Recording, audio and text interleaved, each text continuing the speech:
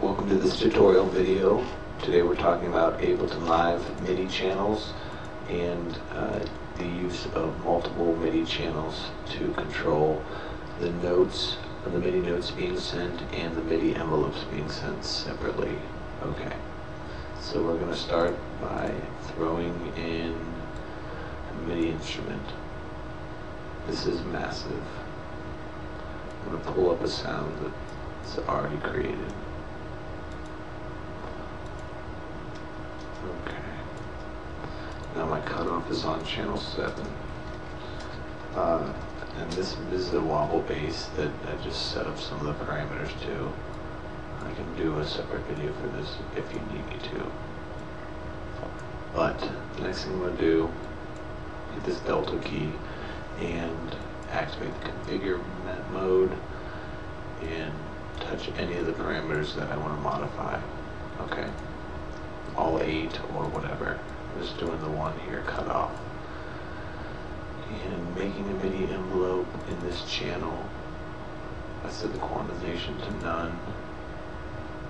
I make the trigger legato and I leave loop on. Now this is the node mode. If you press this button, then it becomes no node mode. And if you press this button, envelope comes up. You can leave notes up too, but it gets confusing and it changes based on which of these boxes you have selected. Anyway, Ableton will pull up the envelope of the last knob that you touched on that channel. So here we are. You see Massive is selected and cutoff is selected. I draw in my envelope, show you a couple of tricks. One, if you double click the line, you can create a spot. You can also create spots by highlighting the whole area, grabbing the bar, pulling it up, and then sometimes I'll erase one of them.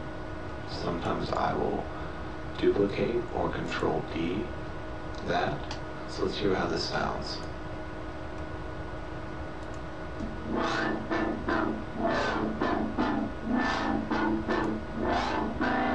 That's pretty good.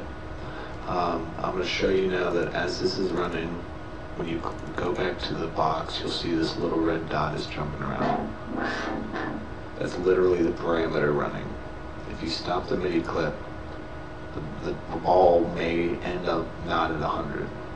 So it's important to have a clip that's set to 100 that you can run. Uh, it's also best to duplicate your clips as you're doing this instead of making new ones so you don't have to reset up all this other stuff. But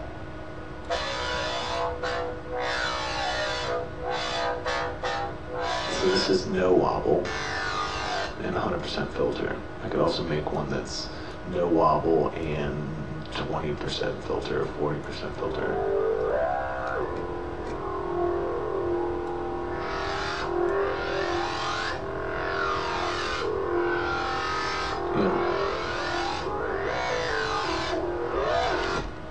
The picture, okay?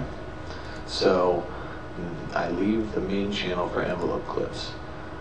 Um, and you can you know there's an envelope clip being used because the little red dot then appears. See this one's not edited.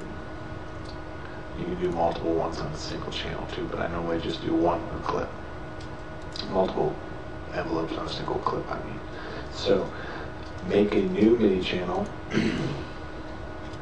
and call this one notes or whatever and then send the output. This is where you have to do a little bit of the I.O. configuration.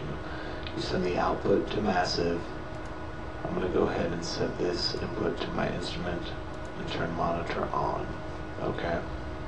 And at this point, I'm going to disarm that one and arm this one and send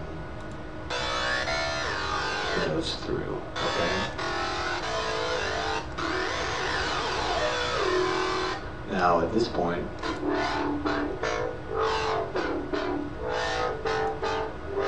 Everything still works the same, except I can write notes in and perform notes into this channel and it'll record them.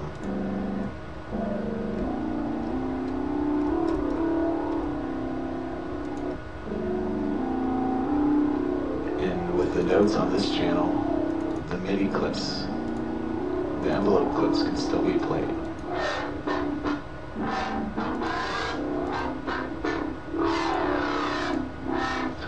What I would generally do then is in the MIDI assign mode, pick a pad or two. And because I have the quantization to none, they'll change as soon as I hit these pads. I won't wait for one, so.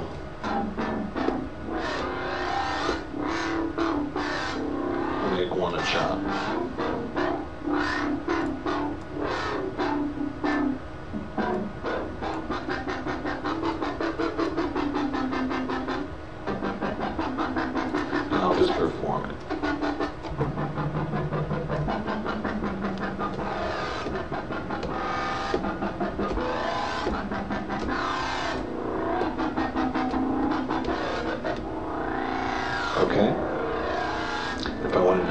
Line, I'll show you later how to set up the, the looper in MIDI, but needless to say, you can just activate the clip.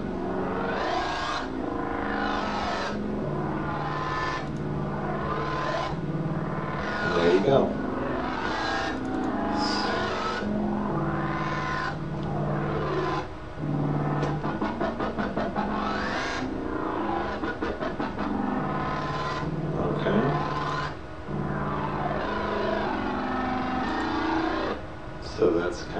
The way we slave those together.